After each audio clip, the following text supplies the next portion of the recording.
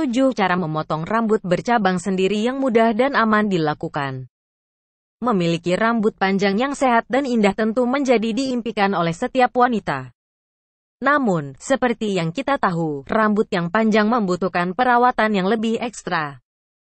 Perawatan rambut yang tidak baik dapat menjadi penyebab rambut bercabang, kusut, rontok, dan sulit diatur.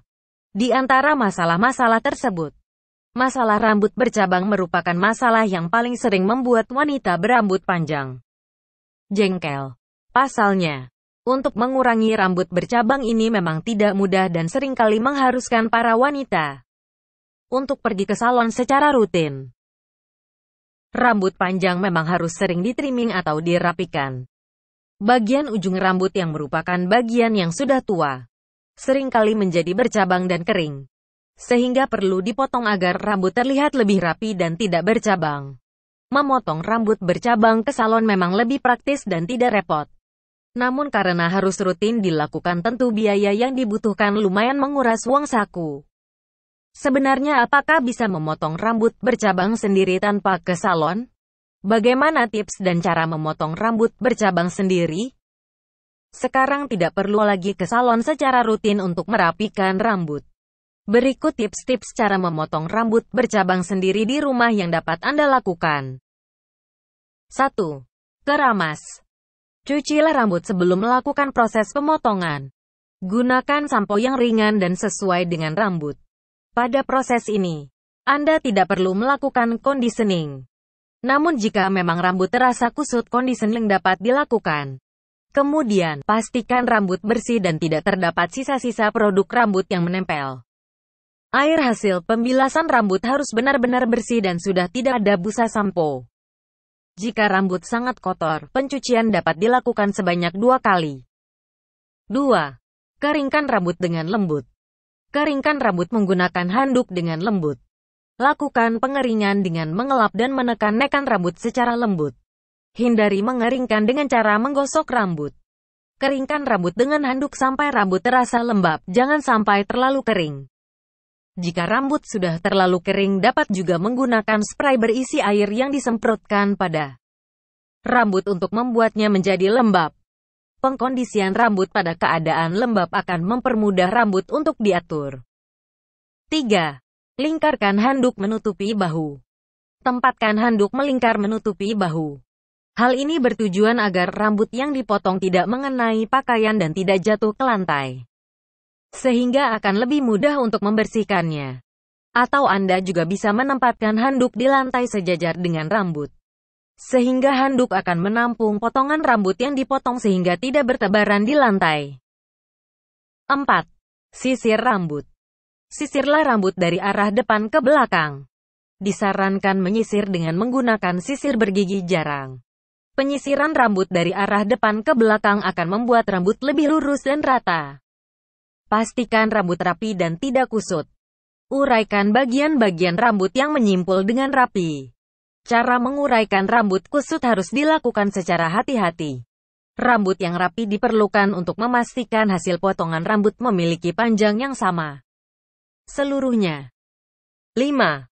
Bagi rambut menjadi beberapa bagian. Bagi rambut menjadi beberapa bagian. Pembagian dapat dilakukan secara berlapis dari yang paling ujung dekat wajah sampai bagian belakang yang dekat dengan leher. Cara membagi dilakukan dengan menyisir sebagian rambut dari arah telinga kiri ke telinga kanan. Kemudian diarahkan ke depan. Sisir sebagian rambut tersebut kemudian diikat. Kemudian lakukan hal yang sama untuk bagian rambut selanjutnya.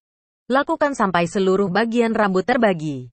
Biasanya pembagian dilakukan menjadi tiga bagian yaitu bagian bottom yang paling dekat dengan leher, middle, top yang di tengah, dan front yang dekat dengan wajah.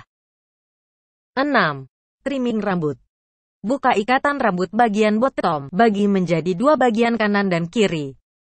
Sisir kedua bagian tersebut. Jika perlu bisa juga dilembabkan lagi dengan spray air agar lebih mudah diatur. Pada bagian rambut kanan, carilah awal percabangan dari rambut yang bercabang. Jepit bagian rambut beberapa cm di atas awal percabangan dengan jari telunjuk dan jari tengah. Dengan jari masih menjepit, potong rambut 1 cm di atas awal cabang. Setelah bagian bottom kanan terpotong lakukan pada bagian kiri. Usahakan agar kedua sisi sama panjang. 7. Lakukan trimming pada bagian selanjutnya.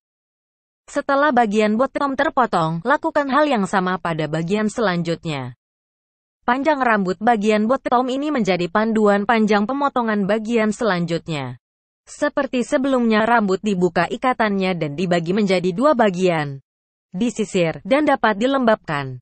Kemudian jepit lagi dengan rambut bagian bottom. Lihat perbedaan antara rambut yang sudah dipotong dan belum. Selanjutnya, lakukan pemotongan dengan panduan rambut yang telah terpotong. Lakukan trimming sampai seluruh bagian rambut terpotong seluruhnya. Cara memotong rambut bercabang sendiri ini dapat dilakukan di rumah setidaknya setiap enam bulan. Sekali. Trimming ini cukup efektif sebagai cara menghilangkan rambut bercabang. Untuk pencegahan rambut bercabang yang lebih maksimal perlu juga untuk menghindari penggunaan hair dryer atau pengering rambut. Karena bahaya pengering rambut salah satunya dapat membuat rambut mendapat panas berlebihan yang membuatnya menjadi lebih rentan bercabang. Selain itu hindari juga menggosok-gosok rambut saat berkeramas atau mengeringkan rambut. Biarkan rambut kering dengan sendirinya. Kemudian disarankan juga menggunakan kondisioner secara rutin setiap selesai keramas. Harus diperhatikan juga untuk tips memilih kondisioner sesuai jenis rambut Anda. Jika Anda lebih suka dengan cara perawatan tradisional, tidak ada salahnya untuk mencoba berbagai cara tradisional merawat rambut bercabang menggunakan minyak zaitun, ataupun membuat masker rambut dari bahan alami.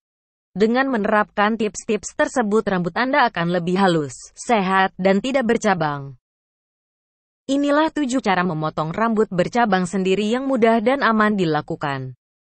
Jangan lupa berlangganan di cara luar biasa.